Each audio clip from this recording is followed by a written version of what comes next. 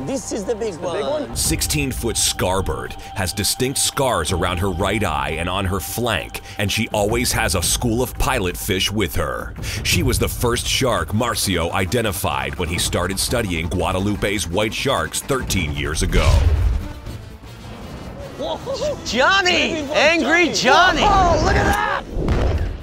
He has a distinctive white spot on his second gill. Sharks at 30 meters and diving.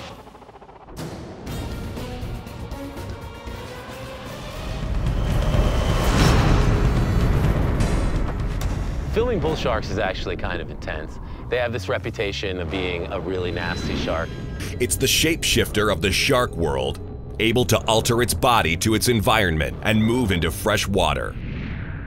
A substance toxic to other sharks. Their ability to hunt where no other sharks can survive make this ninja particularly dangerous to humans. These two adolescent reef sharks are as eager as they are hungry.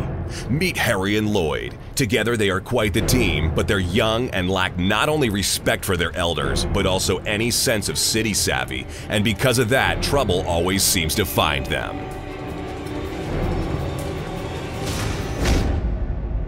The community's mother figure, Big Mama.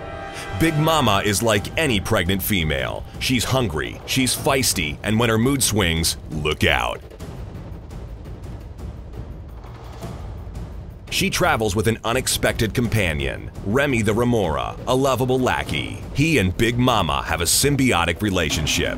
She's got his back, and he's got her belly.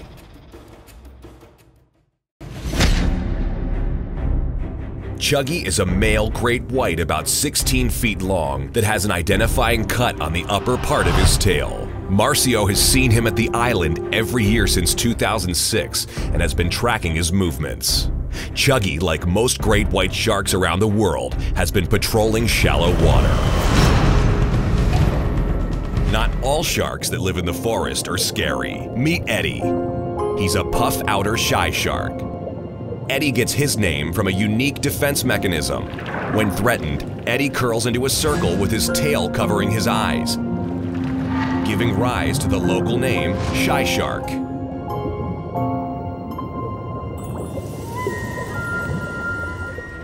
One female towers over the rest, a massive 18 foot monster. Michael has run into her before.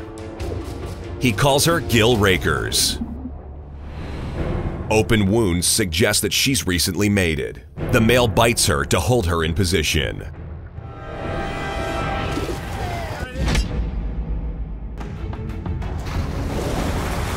This is a notoriously aggressive dominant male. Locals have nicknamed him Sidewinder. It's just the ultimate ambush predator.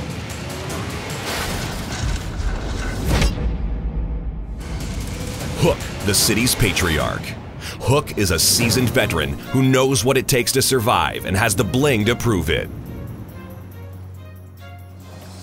Hook had a tangle with a fisherman and won. And there's plenty out there that he's considering for his next meal.